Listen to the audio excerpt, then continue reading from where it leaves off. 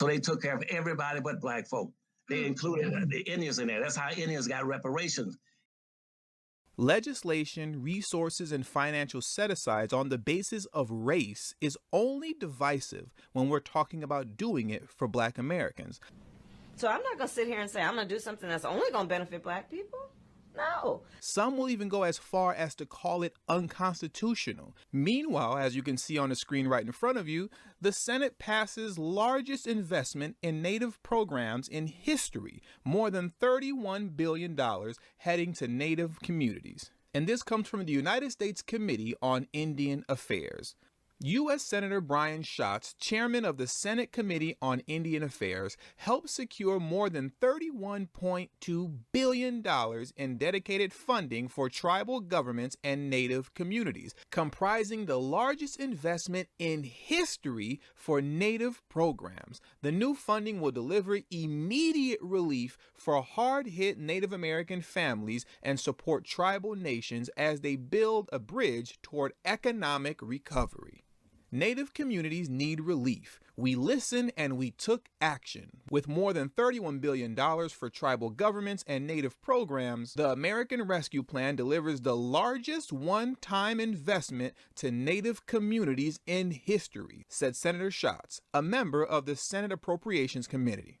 This historic funding is a down payment on the federal government's trust responsibility to Native communities and will empower American Indians, Alaska Natives, and Native Hawaiians to tackle C19's impact on their communities. The $31.2 billion investment in Native communities include $20 billion for tribal governments to combat C19 and stabilize tribal community safety net programs through Treasury, state, and local C19 Relief Fund. Six plus billion dollars for native health systems, 1.248 billion for HUD tribal and native Hawaiian housing programs, 1.1 plus billion for native education programs including Bureau of Indian Education tools, tribal education agencies, tribal colleges and universities, native Hawaiian education programs and Alaska native education programs, 1 plus billion dollars for native families,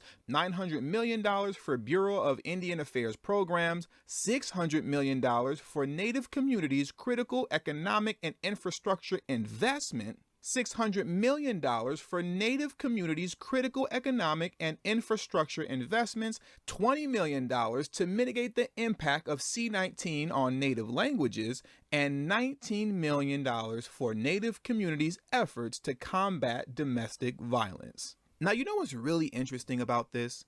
Is how quietly this all happened. No grandiose congressional hearings, no national polling to see how the American people feel about this, and no mainstream media coverage. The American government just quietly slipped $31 billion to the Native American community. And you know what's even more interesting is that they didn't even have to ask for it. No worldwide global protests, no cities burning down to the ground, but just like that, here goes $31 billion for your problems. Brothers and sisters, really let this sit on your mind for a moment. There are currently 10,000 black elected officials in office in the United States of America. There are 6,000 Hispanic elected officials currently in office. There are even fewer Asian elected officials in office, and I can't even begin to imagine how small the number of Native American elected officials are. It is more than safe to say that there are more black elected officials in the United States than there are Hispanic, Asian, and Native American elected officials combined. Yet the group with the least amount of political representation just got $31 billion slid over to them quietly. Meanwhile, if you're lucky, you might get some monopoly money with Harriet Tubman's face on it by the end of Biden's presidency. And that is, see, they don't do that because right now they want to make sure that Indians are in an elevated status over black folk. That came about after about starting about, about 1915 in this country after Indians had a sufficient ass whipping and they've taken, and, and the whites have taken over most of the land out west. Right now, black folks should be able to get land from the federal government, just like Indians did, and be able to build their own damn gambling casinos in their own damn communities. The reparations organizations such as the Foundational Black Americans and the American Descendants of Slaves, this including Claude Anderson's Native Black American Movement. They all need to understand that most Native American tribes and people are not wealthy. Because the cost of repairing and building infrastructure, healthcare, businesses, programs, education, and so on will cost around $1 trillion. And even if you add the over 10 billion in annual federal treaty funding, that isn't even close to addressing the ills and needs of all Native American tribes, who also still face suppressive colonial policies too. Right. It will take decades at this rate for most Native Americans to overcome colonial policy cost disparities and build a strong economy that can address all the socioeconomic and societal challenges in Native communities. If all the reparationist movements want to tackle the socioeconomic issues found in the Black American community, then they should take their demands to Congress, the banks, the states, and corporate headquarters. These entities are the faction of the American population who actually benefited from black enslavement, exploitation, and oppression. The corporate banks, corporate CEOs, and boards sit on tens of trillions of revenue and assets, so why not go after them by issuing thousands of lawsuits? Why do you all want to punish Native communities just because they had leaders of the past and present who fought for their own communities and made treaties? Why don't you all use the 40 acres and a mule promise, the Freedmen Bank and other promises against the feds and sue them? Why not take to the streets and protests for your justice? Why not unite all reparationist organizations and black civil rights movements for a common goal? That fights for civil rights legislation and settlements that is directed at the feds, states, and corporations? Native Americans are divided up by hundreds of tribes and organizations, we sometimes disagree with each other. Yet we natives, for the most part, are united for common goals such as land back, tribal sovereignty, and issuing lawsuits. Native American tribal leaders, activists, revolutionaries, and average Native people have used protests, civil disobedience, thousands of lawsuits, road blockades, and even armed resistance to bring attention to the plight of Native people.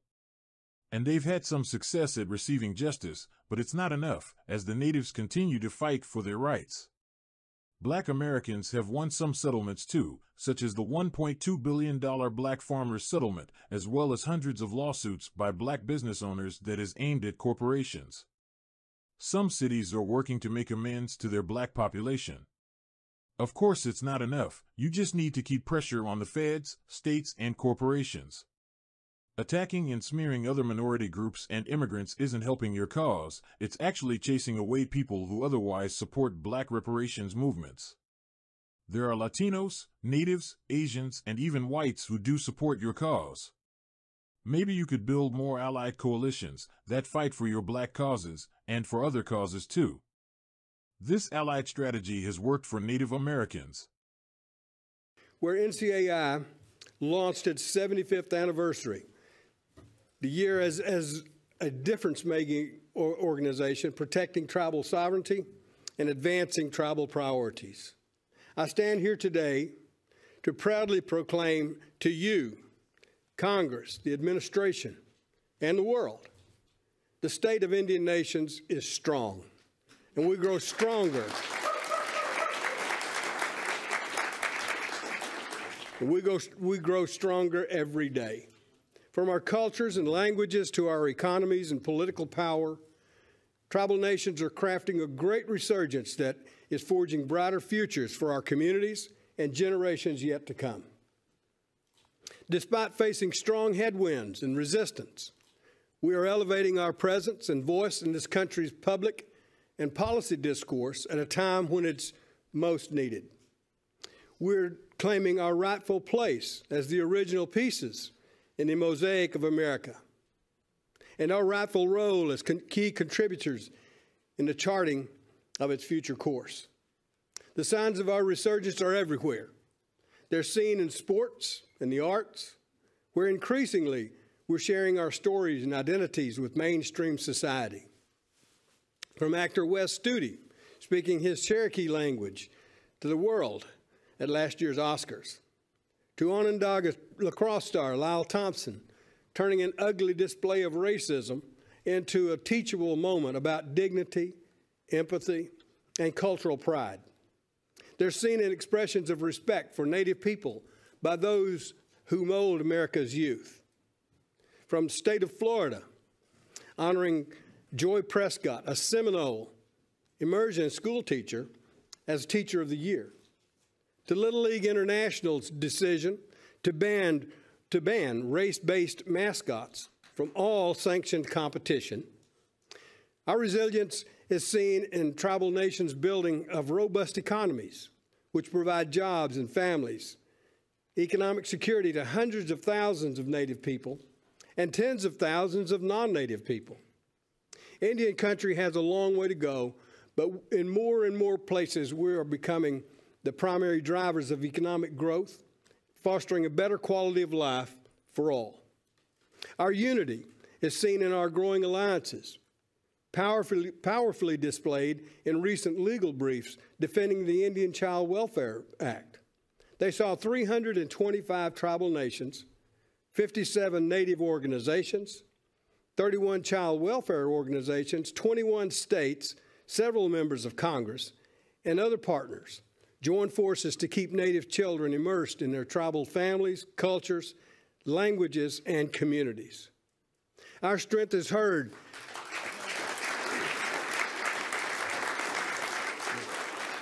Our strength is heard in the enduring power of our songs, prayers of tolerance, and humility, sung a, with a good mind and enlightening purpose in the face of ignorance and arrogance. It is seen in the midterm elections in North Dakota, New Mexico, Minnesota, and elsewhere.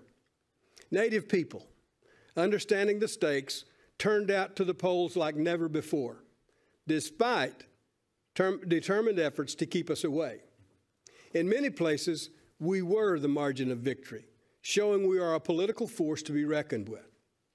And our resurgence is seen in the record number of Native candidates who ran for federal, state, and local offices and won. Black Americans have won some settlements too. We end today's show with the historic $2 billion payout by the U.S. Department of Agriculture to black farmers and other farmers of color who experienced discrimination when applying to the USDA's farm loan programs. We're joined by John Boyd, a fourth-generation black farmer and founder and president of the nonprofit National Black Farmers Association, which fought for these payouts that have now gone out. John, welcome back to Democracy Now! It's great to have you with us. Explain the significance um, of what's happening right now. Amy, thank you so much for having me, and it's always good to to uh, spend time with you. This is a very, very uh, historic uh, payout for black farmers, and and I see it as a huge win for myself and the, the National Black Farmers Association that worked on this for nearly four decades. Uh, so basically, uh, 60,000 uh, applications were turned in, 45,000 black farmers and other farmers of color have begun receiving checks this week and the latter part of, of last week. Uh, so it's very, very good news and a total of uh, $2 billion. Uh, so we've been waiting for this payout for a long time. And uh, we, the NBFA went out and held 60 meetings, uh, Amy, in, in FaceTime uh, with our members. We sent out 130,000 postcards in the mail to all of our members, telling them how to apply for this. It took us, Amy, on average, three to three and a half hours to help each and every black farmer fill out this 40 page application. So it was a very extensive uh, process. And uh, so we were glad to get the news that uh, from Stephen Benjamin at the White House actually called me and told me uh, that the checks were actually going out to to farmers around the country. So we see this as a huge significance of farmers who are facing foreclosure. We have a lot of black farmers in our in our organization that were facing foreclosure. So these payments are timely.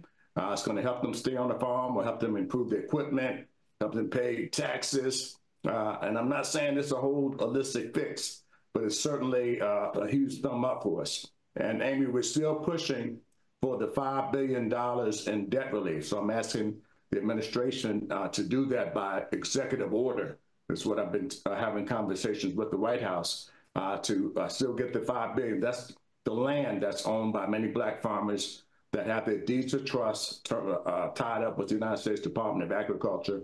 And again, that's a decade old uh, request as well. In 1963, Martin Luther King delivered his iconic I Have a Dream speech to hundreds of thousands of people who'd marched on Washington demanding equal rights for black Americans.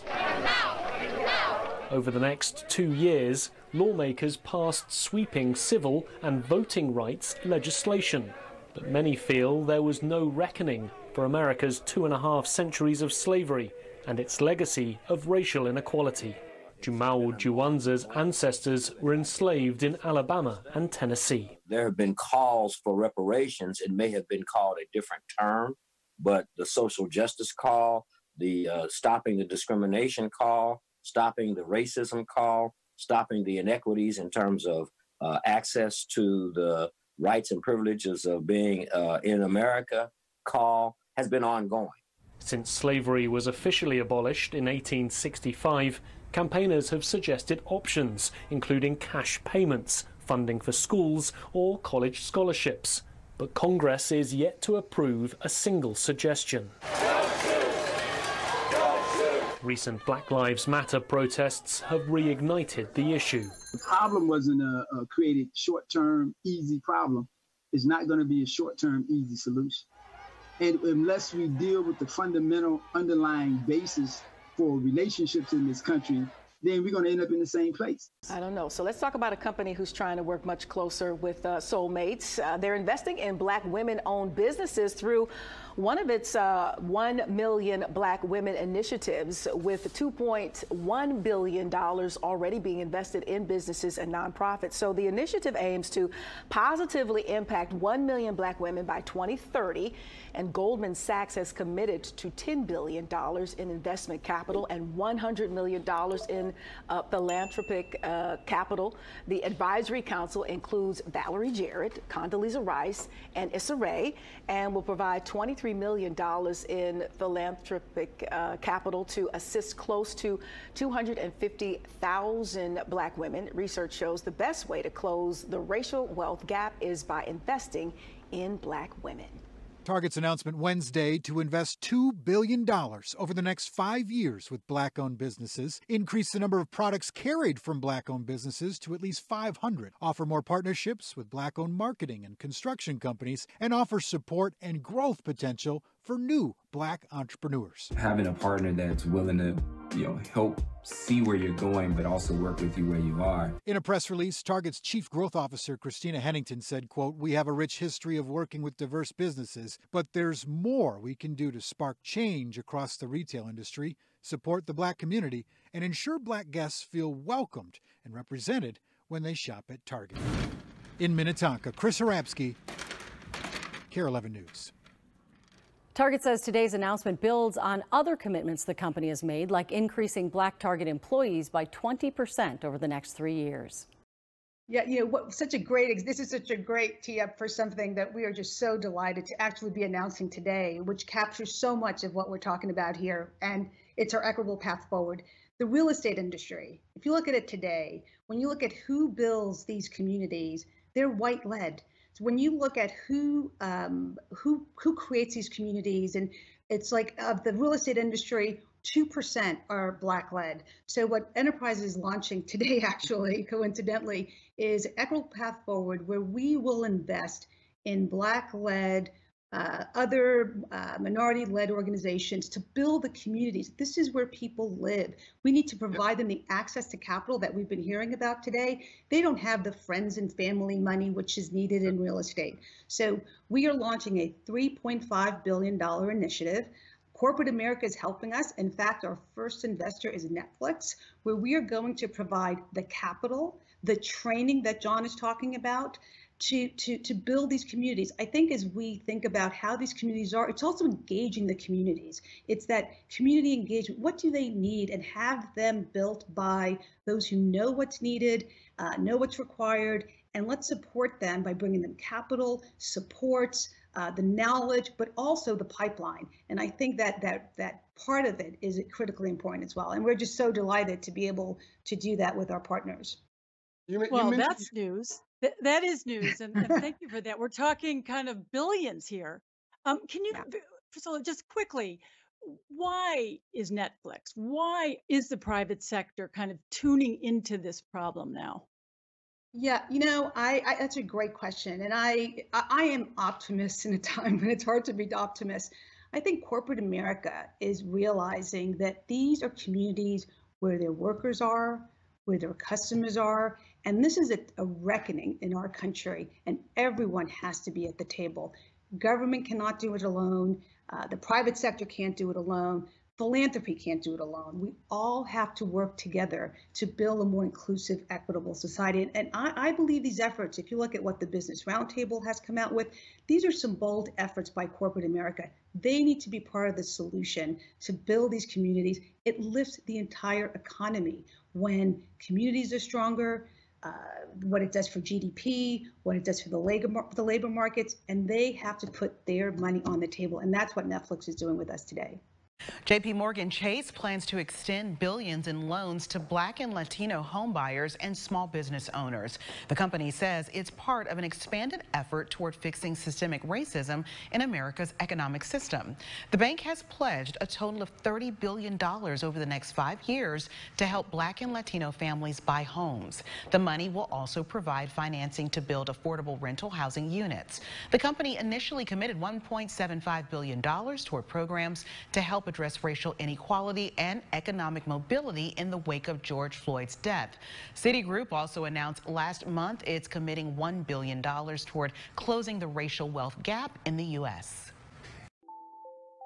Bank of America was ordered Monday to pay 1,147 African American job applicants $2,181,593 in back wages and interest after a judge found that the company's Charlotte office had racially discriminated against them. In addition, Bank of America has been ordered to offer jobs to 10 applicants who were originally turned down. Judge Linda S. Chapman ruled that the bank used unfair and inconsistent selection criteria when it routinely chose white applicants over black job seekers in 1993 and again between 2002 and 2005. Bank of America rigorously contested the allegations and argued that the Labor Department did not have the legal authority to impose fines against it, but the judge sided with the government's claim that because the bank is a federally insured entity, it qualifies as a federal contractor. The ruling was a long awaited victory for the Labor Department, which had first brought the case to court in 1997. The bank, meanwhile, refused to comment on the specifics of the ruling. Bank of America is pledging to address racial and economic inequalities by partnering with community colleges and universities, as well as some major employers. Today, the company announced its $25 million commitment to assist in what it calls upskilling and reskilling for Black and Hispanic Latino students. The move comes as studies continue to show the country's education system disproportionately fails students of color. As calls for reparations continue to grow across the U.S., Catholic priests have vowed to raise $100 million to benefit descendants of enslaved people. Leaders in the Catholic Church acknowledge that the institution was built on the backs of slaves, and they say this is a move towards racial healing. Joining us live now to talk more about it is Ambassador Suzan Johnson Cook. She is the former U.S. Ambassador for Religious Freedom and served three terms as U.S. Ambassador at Large for International Religious Freedom under the Obama administration. Ambassador Cook, thank you so much for joining us and welcome to BNC. Thank you so much for having me. It's my honor. Well, this $100 million fund for reparations is the largest such effort by the Roman Catholic Church. What are your thoughts on it? Well, I am so excited. Certainly, I'm from the village of Harlem. This is my 40th year in ministry. Certainly, I'm not a priest, but we're very close to the village of Harlem with those who are, and I have family members who are Catholic. So we're very excited that the Jesuit order actually has made this begun, this happen. And so we're excited that finally uh, some reparations can happen, and hopefully this will lead the way for other uh, denominations, other sectors of America to begin to do the same. Affirmative action began as riot control. Harlem was up in flames. Bed-Stuy was up in flames. Newark was up in flames. And if we don't do something to bring in young black people to the mainstream economically and educationally, we're not sure the society will hold together. The words affirmative action initially were attempts to deal with discrimination that African Americans face in the labor market. There were executive orders by President Kennedy and President Johnson which said employers had to make a good faith effort to use affirmative action in their hiring and recruitment policies, which meant they were going to try to recruit people who had once been discriminated against. I have some very sad news for all of you, and that is that Martin Luther King uh, was shot and was killed tonight in Memphis. After the assassination of Dr. King, there were riots in 60 American cities simultaneously. The leaders of the society, whether they were in government, business, or academia, said this society can't hold together if black people are burning the cities. And they're burning the cities because they feel excluded. So we've got to bring them into our workplace. We got to bring them into our educational institutions. We got to let them feel that they have a stake in the, the society it was a very effective response to urban unrest. Hundreds of thousands of people being hired by major corporations who wouldn't have been hired. You had colleges admitting large numbers of black students who previously only admitted a handful. It really changed the country. Something I'm really proud of, because I've been saying it. What do you have to lose? African American unemployment is at its lowest level ever recorded.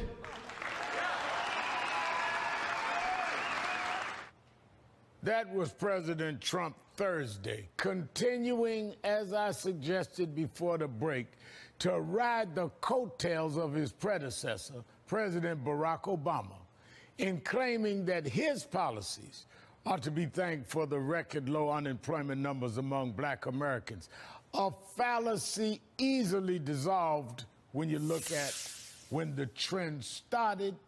And as you can see, it wasn't January of last year. Joining me now is former acting Secretary of Labor under President Obama, Seth Harris. Thank you, uh, former Secretary Harris. Uh, let, let, let's go right to it. President Trump is trying to tell people that he is responsible for record low African American unemployment. Is that any way, shape, or, or form even possibly true? It's not, Rev. Um, there, we've had 87 consecutive months of job growth in the United States dating back to 2010. You may remember that you and I used to talk about the jobs numbers back when I was the uh, President Obama's yeah, Secretary of Labor. you used to come on my uh, radio show every month and report. Then Perez would after you. I remember. Absolutely right. And so we've had long term recovery from the Great Recession that President Obama led, but he was helped by Democrats in Congress who passed the largest stimulus bill in American history. Um, and it's important to remember that even though President Trump is talking about how low African American unemployment is now, and that's true, it's still almost double the unemployment of white Americans. We still have structural problems in our economy that are causing African Americans to still have face a disadvantage in the labor market, and we still have a lot of work to do. And let me say, I see no evidence at all that President Trump is doing the hard work that's required to fix that problem. Now, we saw the decline. First of all, President Obama came in, the whole economy was on very shaky ground. He recovered the economy, brought unemployment down, and brought African American unemployment way down. It is time now for our Equity and Opportunity series, and Frank Holland joins us this morning with a closer look at the growth in black spending power. Frank. Hey, good morning to you, Andrew. Black spending power reached a record $1.6 trillion in 2021. The ability to buy, save, and invest more than doubling since 2000. That growth exceeding the full U.S. economy, but actually lagging other ethnic groups, Latinos with a 288% increase, Asians with a 388% increase in spending power. However, Other groups, they've also seen an increase in their net worth. Black Americans instead have seen their wealth actually fall by 14%. And with the S&P gaining 27% last year, the value of US homes increasing by 31% last year. Many black leaders are asking the black community to really rethink how it spends. Save money to purchase the most important asset you'll probably ever own, and that's your home. And that to me is, is equally important. As I said, I, I'd put it right up there with uh, arguing or campaigning for or supporting voting rights. I would love to see us spend more money in the stock market instead of uh, buying the hottest new thing. Buy the stock of the hottest new thing, and that's something that is something that you can also pass down generation to generation. Home ownership is typically the biggest wealth builder in the black community. That's actually fallen more than 3% since 2000. And annually, black families accumulate 300 billion less in wealth than white families, and they save 75 billion less. The racial wealth gap now at more than 11 trillion dollars. Back over to you. Frankie, the, the, statistics are startling and fascinating in so many different ways. Do business leaders and other experts have thoughts on how to stop the trend and what's really behind it? Yeah, of course. I mean, some of it is simply allocating more capital to assets that at least have the potential to appreciate, things like houses, stocks, and bonds. Other reasons are systemic, and that's why about one out of every five black family has a negative net worth. Right now, systemic issues, uh, redlining in housing, Uh, disparities in education, and other issues that are going to take a longer time to address.